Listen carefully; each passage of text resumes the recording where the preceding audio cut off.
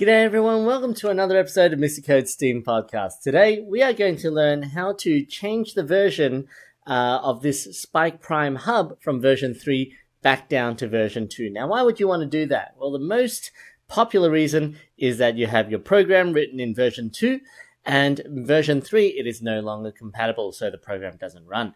Uh, the other really, really big reason you would do this is because you want to code in Python, which is amazing, but it is not uh, available in version 3 yet. So you would want to restore this version back to version 2 so that you can continue working on Python.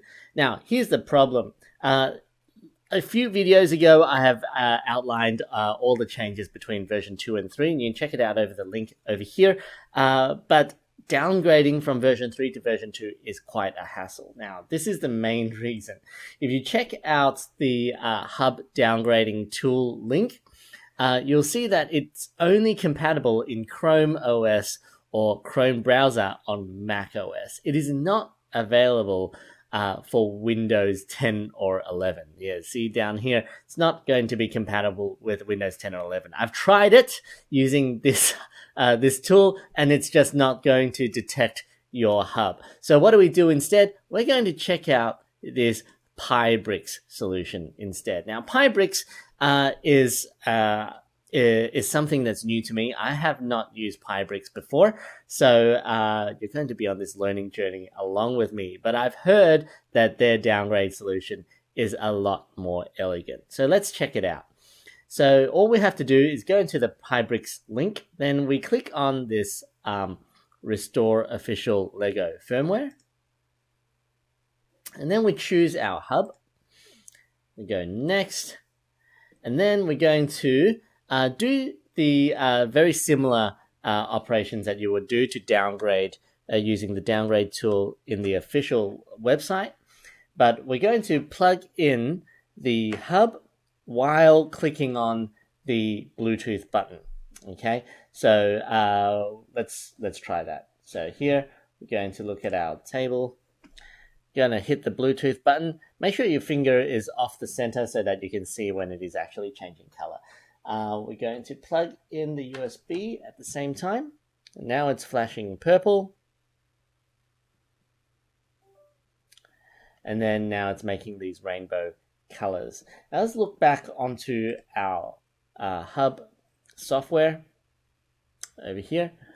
So it says to press and hold, yes, connected, yes, wait for Bluetooth start flashing, yes, release the Bluetooth button, and then click on the restore button below. And then in the pop-up, we have to click connect. Okay, let's do that.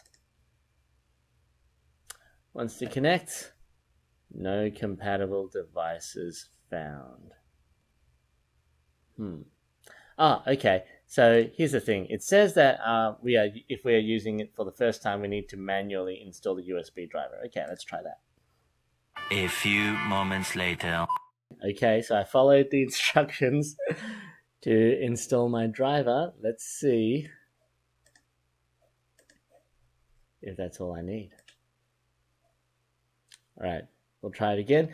The hub is still flashing, by the way. So after all this, hub is still flashing. Click restore. Ah, I see the hub on the list now. Connect. Erasing the old firmware. Okay. You know what? This is actually I mean it's a hassle, but it's but it's pretty painless.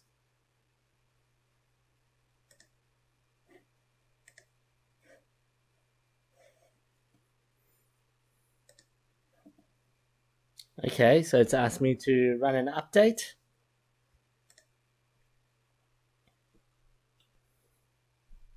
All right, the hub has been updated, and uh, it it looks and feels like version two now. So you see that there's now a white light, and it's got the little animations and clicks and buzzes as well. So that was really unexpected. I am glad that we found a way to downgrade uh, version 3 to version 2 using a Windows computer, which is, of course, the most popular computers.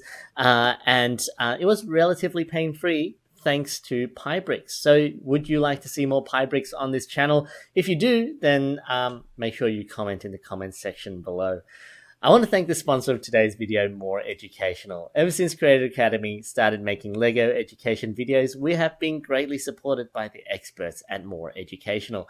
They're an authorized partner of LEGO Education with over 25 years experience working with LEGO education products. So, if you're in Australia and you want to buy genuine LEGO education products like the ones shown in this video, then make sure you visit the Moore Educational website. That's it from me today. If I helped you out, make sure you leave a like and a subscribe. I will see you again next time. Take care. Bye bye.